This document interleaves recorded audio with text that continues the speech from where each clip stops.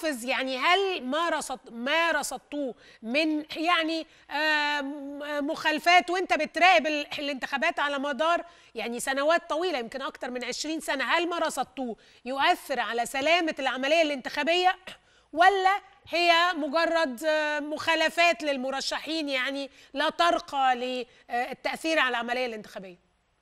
لا هي طبعا لا ترقى لأنه زي ما قلت لحضرتك ما يهمنا كمراقبين إنه سلامة العملية الانتخابية داخل اللجنة الانتخابية بدءا من يعني نزاهة واستقلال اللجنة وعدم تدخلها في العملية الانتخابية سرية الاقتراع آه، شفافية الصناديق آه، آه، آه، ان وجود حق الوصول إلى اللجنة بشكل من غير أي مضايقات.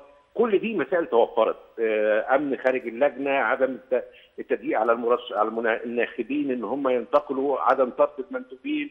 آه، دي كلها مسائل ما ما رصدناش منها آه، أي حاجة. إنما ما يحدث في الخارج ده تقريبا بيحدث من كل المرشحين بلا استثناء. يعني فكرة تقديم تسهيلات حشد الناس محاولة التأثير على الناخب في الخارج استخدام الدعاية الانتخابية. لكن هل دي من ال- العيوب أو العوار الذي يؤثر على سلامه العملية الانتخابية؟ في وجهة نظري لا.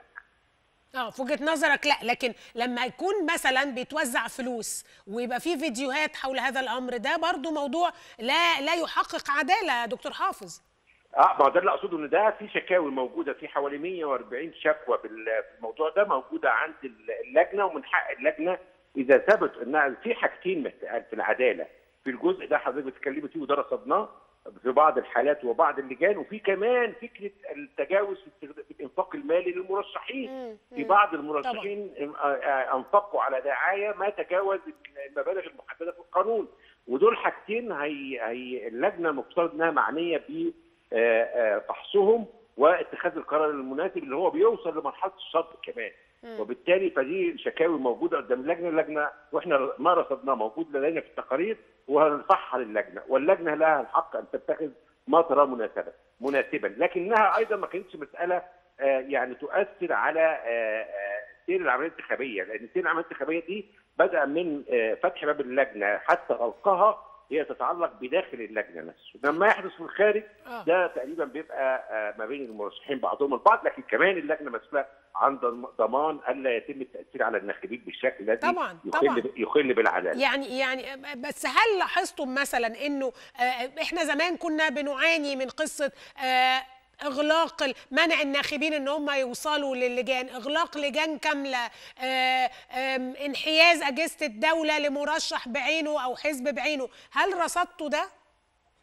لا ما هي دي عيوب التي تخل أو التي تضرب في نزاهة العملية الانتخابية واستقلالها.